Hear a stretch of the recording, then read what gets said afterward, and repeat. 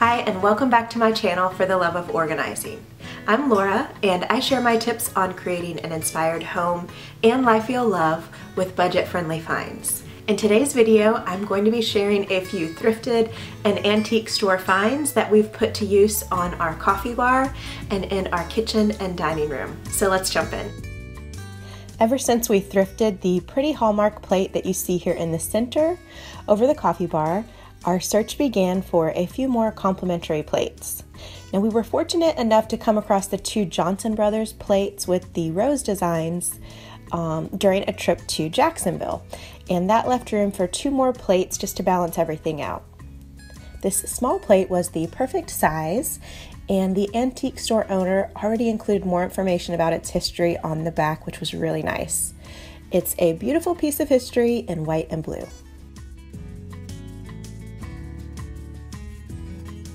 I came across this scalloped edge plate for just a dollar at a local thrift store, and I had an idea that was worth a try at such a great price. So I used chalk paint to neutralize the center area of the plate just to ensure the text didn't show through. I let that dry completely, and then I printed out this shabby chic pattern from the Graphic Stock website. And just a heads up, I tried this with a few different types of paper and I found that the glossy photo paper worked best and didn't bleed. I found mine at the Dollar Tree. Then um, I went ahead and located a plate that was the right size for tracing um, in that center area and I cut out my print. And then it was time for Mod Podge. A little goes a long way, and you can usually find this small size at the Dollar Tree or any craft store. I covered the back of the print with a thin coat of Mod Podge, and then quickly I placed it on the center of the plate. And this is where I used a bit of pressure with my paintbrush as I added a very thin layer of Mod Podge to the front to quickly get a nice clean finish without any wrinkles. Now this takes a little finessing and I was sure to work on the edges so that everything would dry with a nice seal. Here I'm still working my way around the plate and when I was happy with the result, I let it dry overnight. Now, it's certainly not a vintage piece, but it's a one of a kind, and I think it has some charm.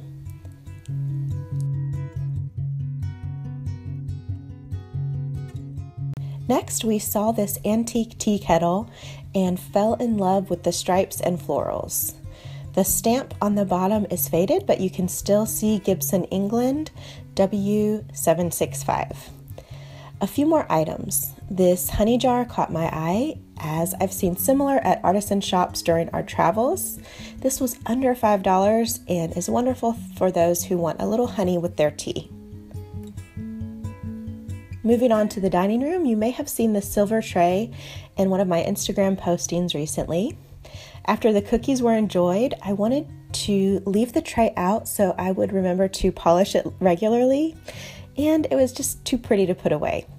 We are really enjoying it in our dining room and are having fun with it. Lastly, you may have noticed we painted the dining room walls with textured stripes. We wanted to keep the walls in the same color family as the rest of the house, but add a little bit more of a formal look to this space. Now, here's a photo I snapped as we were setting up for a sprinkle we hosted a few weeks ago, just to give you a better idea. And I'll put the info on the paint we purchased below and link to a few tutorials if you're interested in creating your own striped wall. It's such a low cost way to add instant impact. Thank you so much for watching. I hope you enjoyed. I love interacting with you, so leave me a comment below. When I'm not here on YouTube, I'm over on Instagram, Snapchat, and Facebook, and would love to connect with you there as well.